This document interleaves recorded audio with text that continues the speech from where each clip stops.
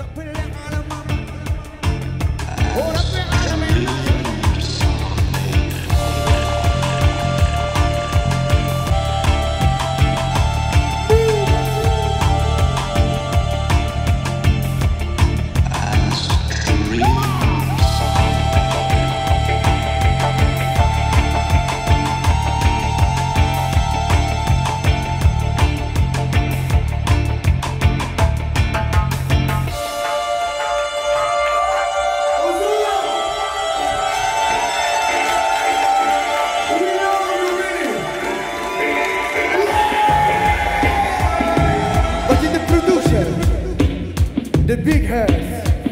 guy. face and the production, please. Blast!